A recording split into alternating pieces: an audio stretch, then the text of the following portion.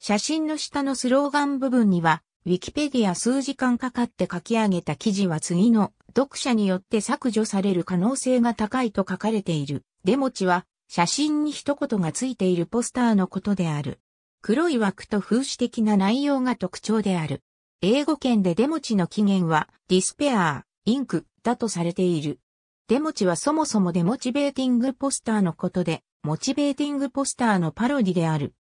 モチベーティングポスターの役割は、職場や学校で社員や生徒が正しく振る舞うように動機づけをして励ますことである。モチベーティングポスターの呼びかけが時々陳腐で偽善的だったことから、そのパロディとしてデモチベーティングポスターが作られるようになった。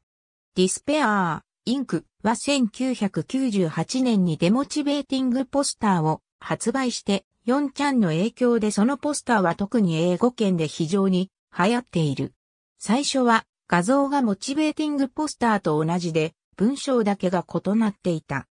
デモチの進化に伴って、モチベーティングポスターの意識が薄れて、画像が自由に使われるようになった。今は、デモチは、風刺的なお笑いジャンルに発展していった。デモチは、英語圏、ロシア語圏で非常に人気で、絶え間なく、ネットミームを生み出していく。デモチが本来持っている建前社会に対する反発の精神は、双葉チャンネルなどのインターネットコミュニティにも現れている。ありがとうございます。